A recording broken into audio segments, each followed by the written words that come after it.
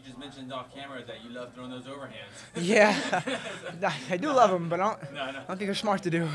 Tell me, talk, talk about, I guess, the, what we see versus how you train, because you kind of said like they're not Cool. the same. So back home, I was notoriously known for throwing the big overhand. I'd had a few knockouts with them, but it's just not like the most technical professional strike. You know, when it's not meant to be used. So in training, I have beautiful straight right hands. When I switch, beautiful straight lefts. But man, when you have the four ounce glove on and then you see the guy, just that big bomb of a punch is, is what feels right. And I didn't practice him, but I threw him a lot. And uh, and man, this one was hard. He was moving back the whole fight and it was it was hard to finish. It was hard to land flush when they're moving back so much. And then at the end of the first round, they were booing, and that broke my heart. So uh, my game plan was to, to out kickbox, and we had so many high kicks and low kicks planned. But man, in the fight, it's such a vivid reminder uh, how hard it can be to, to huck these kicks and actually hit them in the head without gassing or slipping or getting countered. So I just went back to some punches, and that's what worked. And uh, and then I felt in the second round his his gas tank gave a little. That I could fight all day, I'll fight to the death. That'd be awesome. And uh, so I ended up really pushing the pace and, and beating him there. She said the crowd kind of motivated you to, to keep going. Uh, How does that affect you when you hear that? Man, I, I just uh, the music I listen to a band called Amon Amarth. They sing about like the, the lifestyle of Vikings and you know like like fighting to a glorious death. And uh, and back in the Georges St. Pierre era of UFC, they were looking for the world's best fighters and they had found them. But now all of the world's best fighters are here and the belts get handed off. So I don't have like championship aspirations or, or ranking aspirations. I want to be known as a guy who like goes to war and like has epic fights and crazy knockouts no one's seen before. And uh, and when the fight was at that pace, that just wasn't going to happen. And uh, and it really made me sad and it made me made me push the pace. But there was some blood in the second and third round, so that was cool. Elbow? I noticed when you came in the room, you've been holding it. Uh, yeah, so uh, if you guys, you know, if you've never, if you've ever blocked a kick wrong, you know, you've broke forearms. I had a kickboxing match and for Legacy in 2015, broke a guy's arm in half with the kick. So blocking him properly is really important. And even with proper blocks, which I did, just that, that shin cracks your elbow. And I think I blocked like eight or nine of them, and my elbow's just sore. It's a fight. It's gonna happen. Need some ice, but I'll ice it up later. How tough was Moontasri though? I mean, you were going out and flurrying Good God, he was hard to put away. But again, when guys are moving back, uh, it's it can be hard to finish. And he's known for like I punch, he steps back, and he steps back in for the counter. And I didn't want to get countered. I know he hit me twice, but uh, but I, I remember walking through him. They hit me, but they, didn't- they, didn't- they didn't do much damage. But I just didn't want to get hit with anything stupid, especially at the end of the round. And man, in the third, I felt like I could have finished him. But uh, but man, I, I just tried and, and didn't get that finish. But he was super tough, super nice guy. Uh, and uh, and man, I wanted to beat him at his own game, but that's just hard to do. Were you aware that he uh, he was the last guy to make weight? Yeah, man. Yeah, in the in the sauna, I, he asked for a catch weight, and I was like, absolutely not. You know, it's not what we do. You know, I, I can I make weight easy too.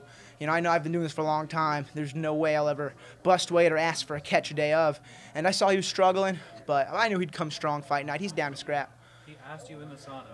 To- "Hey, do you want to do this? Yeah, 173, and I was like, no way, absolutely not. There's no way.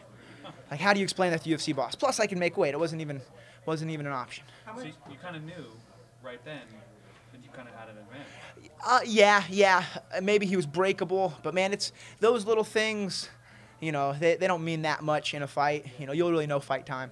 What's up? So How much weight do you cut? Are you, you, you don't seem like a big welterweight. I'm not a big welterweight. So uh, morning of, I woke up at 178, so I had to sweat seven pounds out. And I'm a gross sweaty person, so I sweated out in about 50 minutes in the sauna. It was done. Felt great.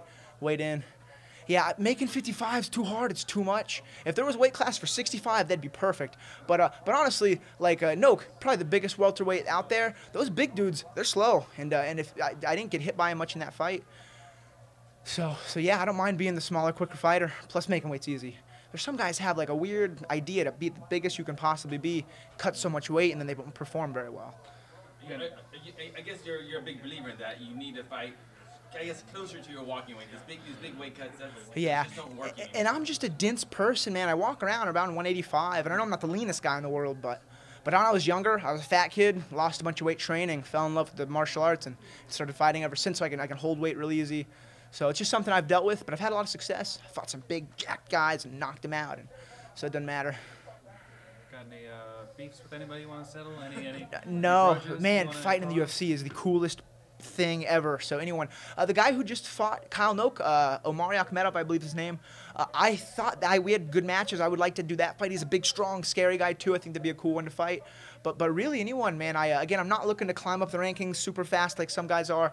I want to be like a like a veteran in the UFC. I want to have 20 fights by the time I retire. So I'm not looking to to chase gold or do anything crazy. I want to be a a comfortable employee for the UFC. Love the company. And then jumping forward a couple weeks, uh, who do you got in 007 headliner between Rousey and Nunes and why? Uh, so the Rousey and Jon Jones fall in a similar boat. Amazing martial artists have immense respect for their skill set, but socially, when you're a champion like that, I believe you have an obligation and a duty to be a good role model uh, for those who can't be in the spotlight. And, and they're not, uh, especially Rousey. I, I am not a fan of her attitude or like her mannerisms. Uh, so I'm really rooting for for uh, Nunes. I think she'll win too. So yeah, I, believe you know people have a responsibility to be a good role model, and with all that power, they don't do it. It's it's just not good for our society.